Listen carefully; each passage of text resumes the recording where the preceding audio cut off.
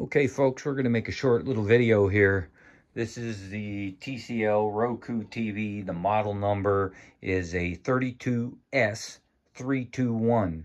And this TV does not come with a wired Ethernet connection, okay? Which what I did was I went and I bought this, which is the Plugable USB 2.0 Ethernet adapter, okay? The TV comes with a USB port so that you can plug into the back any type of media device like a flash player or something to that effect. Uh, external hard drive with media on it, photos, videos, things like that. And you can plug that into the back and the media player on the TV will play the media. Okay, but it doesn't come with an Ethernet port that you can plug an Ethernet in to get a wired connection. Okay, so I got it to work. How did I get it to work? What I did was I bought the USB 2.0 Ethernet adapter, okay, and then I went and I bought 25 feet of Cat6 network cable at my local Walmart. I plugged the Ethernet into the back, which is right here, okay? Ran it around over to the TV, okay? And then hooked it into the Ethernet adapter. As you can see, the lights are going, which means we have data transferring. Then I plugged it into the back of the TV. Now, prior to plugging it in, I had a network connection set up through Wi-Fi with the Wi-Fi router, but I wanted a wired connection. When I went into the settings of the TV, it did not recognize or show any wired connection. It only showed that I had a network connection through wireless, okay?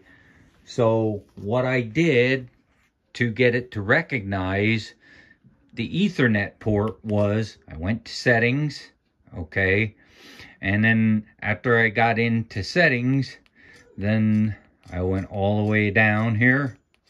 Let me find it here. Uh, it wasn't that. Let me see here. Gotta find where I did. oh, uh, okay. I went to systems, okay, and then, was it USB media? Yeah, I turned the auto launch on. Okay, so that way when you insert the USB media or any USB item, it automatically comes on. Okay, then I went, let me see here, advanced system settings is what I went to next. Then I went to network connection reset and then I selected reset connection. Now when you do that, it resets whatever connection you had in there prior prior it clears the SSID as you can see down on the bottom and then it restarts the TV. Once it did that, when it restarted the TV, okay, then I went back to the settings and went to network and about and as you can see it says connected and it's a wired connection okay? It's no longer a wireless connection. Now if I go to set up connection you can set up a wireless connection and it doesn't show wired but it is connected through a wireless network or wired network okay? So it worked. Uh, how well does it work? Let's go back and let's check something here. Like, let's say we'll go to YouTube. And we'll, it, this would not load if you didn't have a, a network connection of some sort. Either wired or wireless. So here we go. And loading. There we are.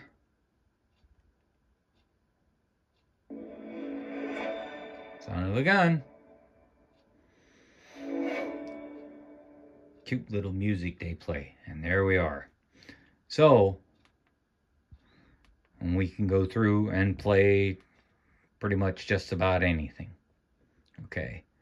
So, that's how it works. Hope you learned. Any questions? Leave them down in the comments. Appreciate you taking the time to view.